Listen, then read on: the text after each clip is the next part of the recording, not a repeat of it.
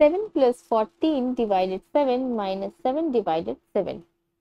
How to solve this? So as per the order of operation, first we do parenthesis, then exponents, orders, indices, roots, then comes multiplication, division, addition, subtraction. So you see addition, subtraction, they are after multiplication, division and we have grouped them together multiplication, division because they have equal priority and we solve them from left to right whichever comes first. Same goes for addition and subtraction also. But always remember that this addition subtraction will be after multiplication or division.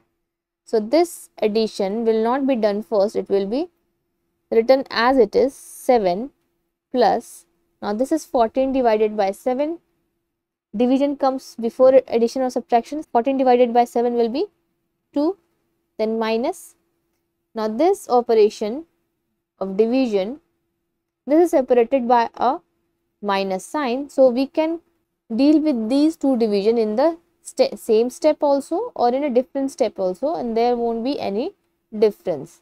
We can write it is as it is, not doing in this step or we can do it in the same step and write 7 divided by 7 as 1. Now going from left to right, we have addition first, so it will be 7 plus 2, 9 minus 1 is equal to 8 as our answer.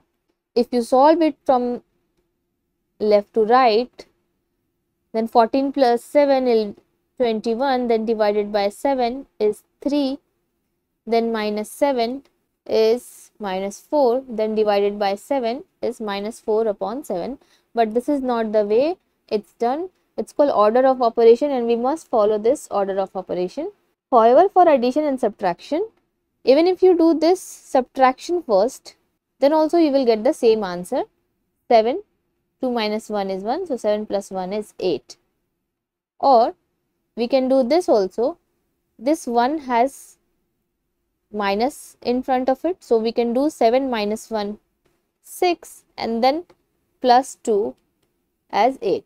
So there are multiple ways that we can do addition or subtraction. Each time we'll get the same answer. But for multiplication division, always keep in mind you do it from left to right. What is your answer? Let me know in the comment section. Thanks for watching.